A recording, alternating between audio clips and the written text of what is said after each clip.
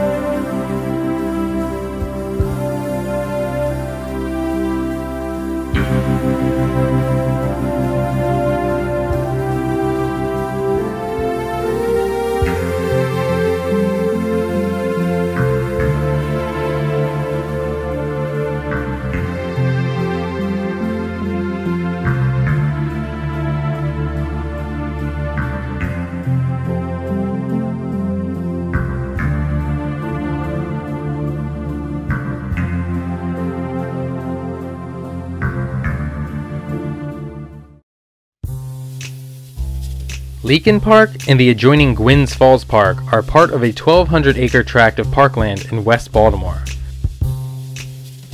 Named after Shepard A. Leakin and funded by his grandson J. Wilson Leakin, the park opened in 1941 at the location of the Crimea Estate owned by former railroad magnate Thomas Winans.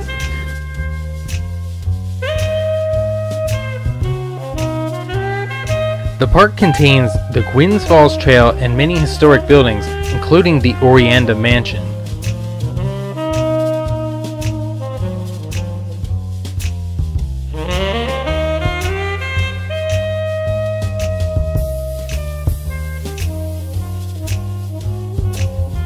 However, the park has been known to contain some things that do not belong there. Leakin Park earned the nickname the largest unregistered graveyard in the city due to the fact that an astounding 71 dead bodies have been found there.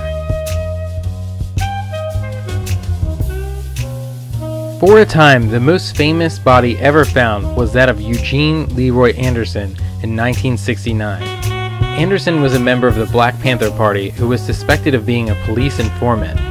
It is theorized that he was killed by his own brothers in the party, however, no one has been formally charged with the crime.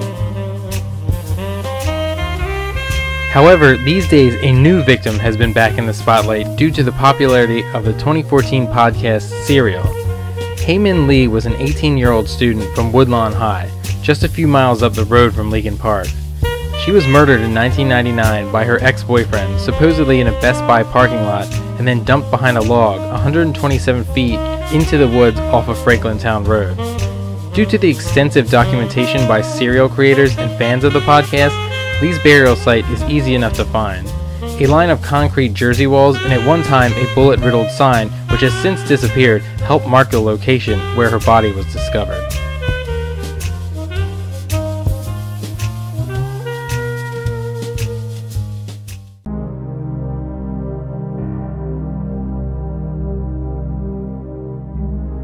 His route to the college is through Leakin Park. He stops on Franklintown Road. There's a small pull off and some concrete barriers, and he walks back in there, quite a ways.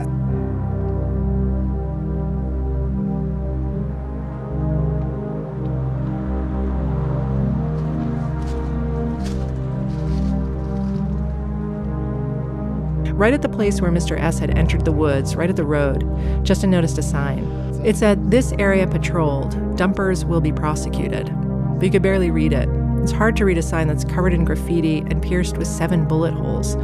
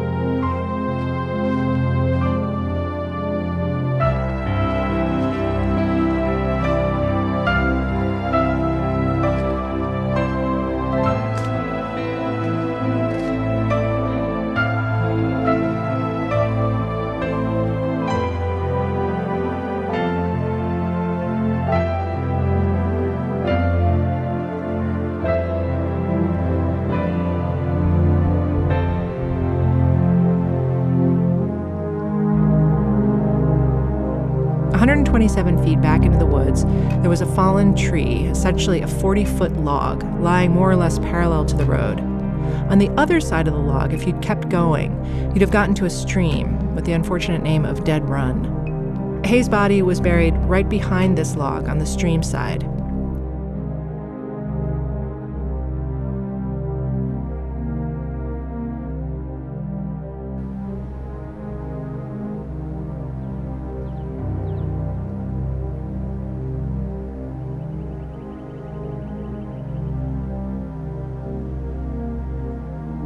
The state contended that Hae was killed between 2:15 and 2:36 p.m.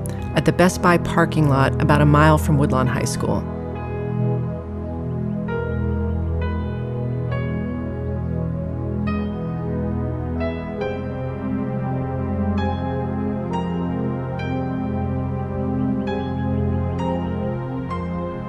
But we have now seen two anecdotal reports that there was a payphone inside the vestibule we did get a look at the 1994 architectural plans for that Best Buy. And indeed, on the plans, there's a teeny little rectangle in the vestibule on the left as you walk in, labeled payphone.